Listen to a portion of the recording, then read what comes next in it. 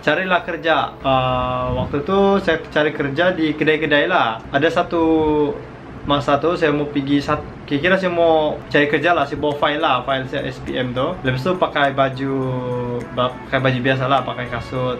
Dan dalam sebagai perancangan saya mau pergi masuk satu-satu kedai. Okey, waktu tu di Luyang, di Damai, KK. Saya pergi lah masuk kedai, ada satu kedai, uh, kedai apa? Kedai lampu. Uh, nama dia, saya ingat lagi sampai sekarang. Nama kedai dia Tokusho Lighting Center Sendirian Berhad. Okey, di sebelah bank lah, bank M Bank. So waktu tu saya pergi masuk sajalah kan dengan yakinnya dia. Uh, yakinnya saya pergi sana. Saya bagi tahu lah, uh, saya bilang hello, selamat pagi. Saya, saya tanya lah, uh, di sini ada kerja kosong kah?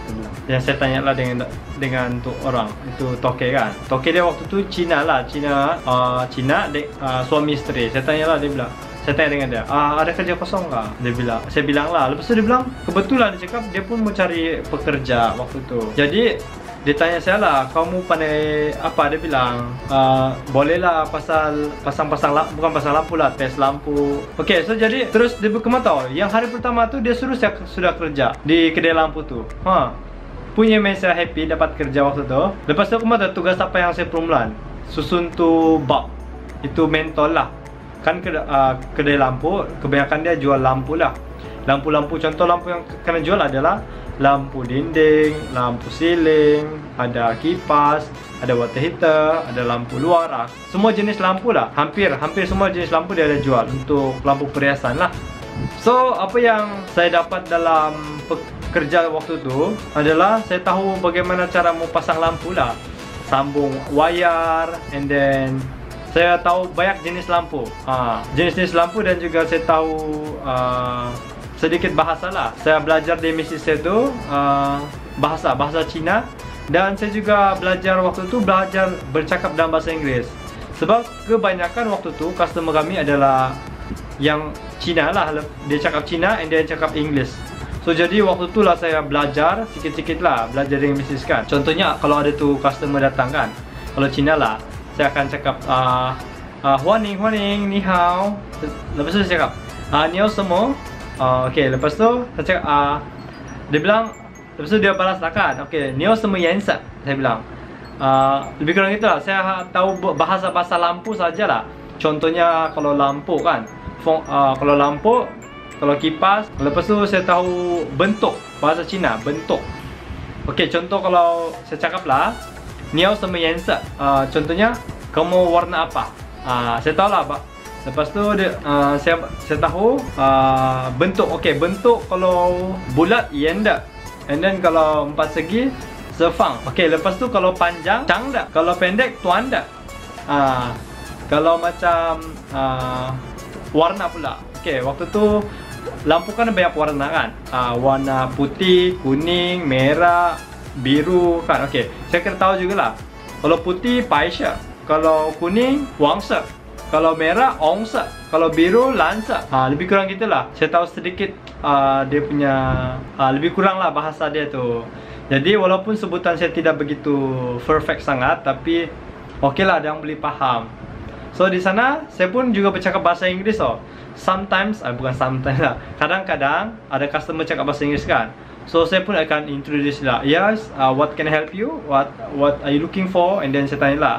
Uh, you looking for uh, fongsan pula sorry you looking for fan wall fan ceiling fan and uh, lebih kurang itulah saya akan speaking dengan orang supaya orang supaya orang lebih yakin dengan saya lah walaupun saya bukan sales bahagian sales tu saya hanya uh, saya hanya pembantu kedai saja ha, tapi saya pandai bercakap juga lah waktu tu so kadang-kadang kan saya pandai lupa customer yang saya cakap dengan orang tu bahasa Inggeris lasas dia balik kan dia cakap saya bahasa Inggeris saya pun heran, kenapa dia cakap bahasa Inggeris ada yang saya?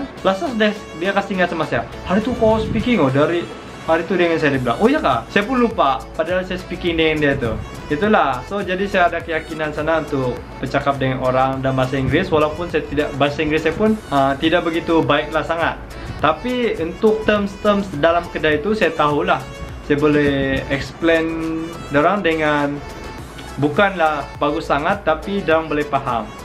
Ha, macam tu lah So banyak juga benda-benda yang saya tahu dalam bahasa Cina ha, Itulah best kalau kamu pernah bekerja dengan di kedai lampu lah And then uh, gaji pula. Gaji sana saya kerja kan. Waktu tu saya bekerja full pula, tidak cuti waktu tu. Saya dapat gaji lebih kurang RM900 saja. So far okey lah daripada aku bekerja di kampung kan.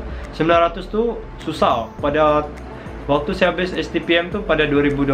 Ah uh, 2012 saya STPM kah? Ah uh, STPM. Terus 2013 pula tu saya pergi kerja lah. Ya, 2013 dan uh, sana antara tempat tempat kerja yang saya lama lah. Lebih kurang 2 tahun juga lah saya kerja di KK tu, di kedai lampu tu. So, selepas tu kan, saya dalam masa 2 tahun tu banyaklah benda saya belajar di dalam kedai lampu. Lepas tu dapatlah panggilan kerja di sini. Okey, kerja sekarang ni saya dapat panggilan uh, melalui SPA lah. Suruhanjaya Perkhidmatan Awam. So itu tu pada 2016. So yang kerja hari ini saya belum kasih cerita lagi So mungkin saya akan cerita di video yang akan datang lah So saya harap dengan perkongsian saya punya pekerjaan Pengalaman pekerjaan saya pada yang sebelum-sebelum ini uh, mem Bukanlah memberi inspirasi tapi uh, Tapi untuk mau kasih tahu kamu sebagai pengalaman lah Apa yang saya dapat daripada kerja-kerja yang sebelum inilah So Mungkin kamu pun ada pengalaman tersendiri Macam mana kamu punya pengalaman bekerja sebelum dapat pekerjaan yang tetap ataupun pekerjaan yang lebih baik daripada yang, yang sebelum ni lah. So itu saja dari saya. Kalau kamu ada pengalaman bekerja macam saya juga tolong kamu komen di video ini. Kamu bagi tahu saja apa kamu punya kerja lepas itu pengalaman apa yang kamu sudah dapat lepas itu gaji berapa apa yang best di tempat kerja. Oh lupa pula saya mau bagi tahu uh, apa yang best di kedai lampu tu kan? Saya punya bos bagus oh bos Cina perempuan tu. Uh, dia orang sandakan dia bagus lah. Waktu yang best tu waktu uh, tahun baru Cina dia punya bonus tu banyak oh hampir separuh daripada gaji saya lah dia bagi. Kalau 900 hari tu dia bagi saya 500 so kira banyak lah tu bagi orang yang apa baru kerja dengan saya eh baru bekerja dengan dia sebab baru berapa lama lebih kurang banyak saya dah bagilah lepas tu ah itu saya lah bro panjang sangat kali saya punya pengalaman bekerja yang sebelum ini. Seperti mana saya cakap, terima kasih kerana menonton sampai habis. Jangan lupa like, comment and share. Semoga kita berjumpa di video yang akan datang. Bye.